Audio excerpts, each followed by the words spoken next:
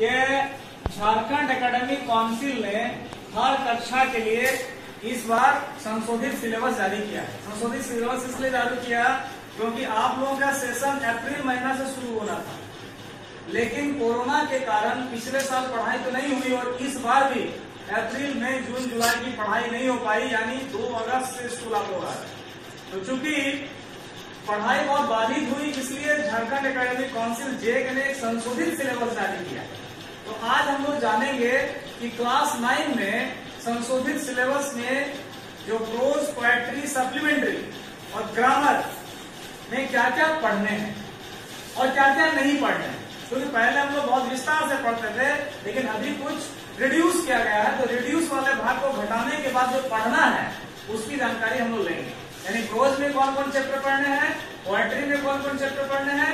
Supplementary moments में कौन कौन चैप्टर पढ़ने हैं? ग्रामर के अंतर्गत हमें क्या क्या पढ़ने हैं? और लेटर्स में हमें फॉर्मल इनफॉर्मल लेटर्स के साथ साथ और क्या पढ़ना है, क्या नहीं पढ़ना ठीक है? Prose class nine prose prose में हम लोग को पढ़ना है the fun they had the fun they had दूसरा हम लोग को पढ़ना the road not taken the road not taken next हम लोग को पढ़ना the sound of music the sound of music part one next हम लोग को पढ़ना द लिटिल गर्ल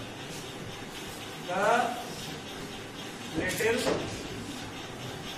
जो चीज़ पढ़ना है, सिर्फ़ हम उसी को लिख रहे हैं। नेक्स्ट हम लोग को पढ़ना है rain on the roof rain on the roof next हम लोग को पढ़ना है a legend of the north north northland a legend of the northland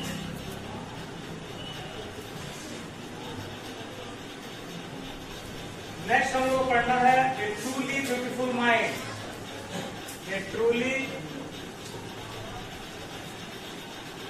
beautiful mind next हम लोग को पढ़ना है माई चाइल्डहुड माई चाइल्डहुड कौन लिखे हैं? एपीजे एपीजे कलाम. नेक्स्ट हम लोग को पढ़ना no men are foreign no men are foreign next हम लोग को पढ़ना है reach for the top reach for the top next हम लोग को पढ़ना है on killing a tree on killing a tree one two three four five six seven eight nine ten eleven twelve ये हम लोग को इतने पढ़ने हैं प्रोज के अंतर्गत।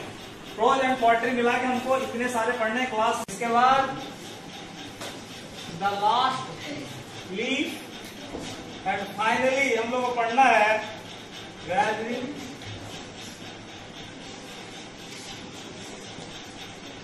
the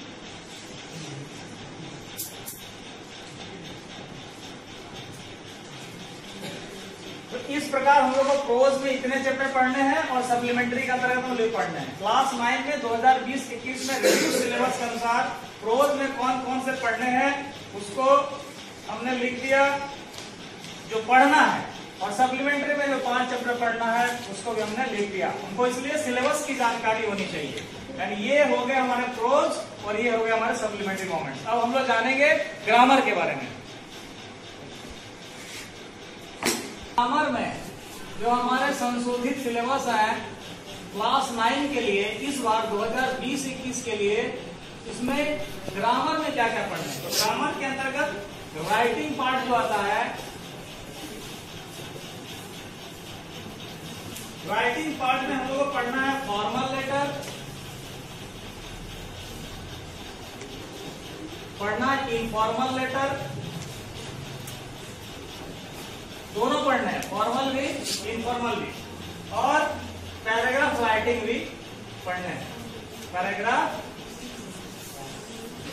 राइटिंग यानी 2020-21 में राइटिंग पार्ट में 2020-21 में 2020-21 में संशोधित सिलेबस के अनुसार क्लास नाइन के लिए जो राइटिंग पार्ट है, वहाँ में क्या क्या पढ़ने हैं?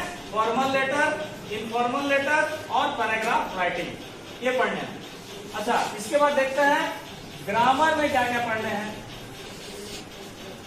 ग्रामर ग्रामर में क्या क्या पढ़ने हैं? Time and tense time and tense इसके बाद पढ़ना है मॉडल्स इसके बाद पढ़ना है डिटर्मिनर्स इसके बाद पढ़ना है active and passive voice active and passive voice इसके बाद पढ़ना क्लाउड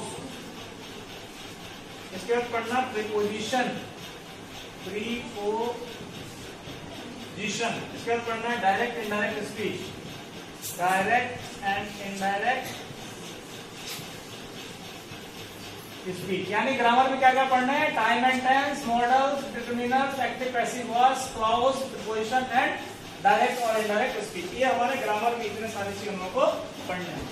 ये संशोधित सिलेबस था क्लास नाइन के लिए, ठीक है? इसमें प्रोज में क्या पढ़ना है पोल्ट्री में क्या पढ़ना है ग्रामर में क्या पढ़ना है सप्लीमेंट्री में क्या पढ़ना मैं बता दिया। ओके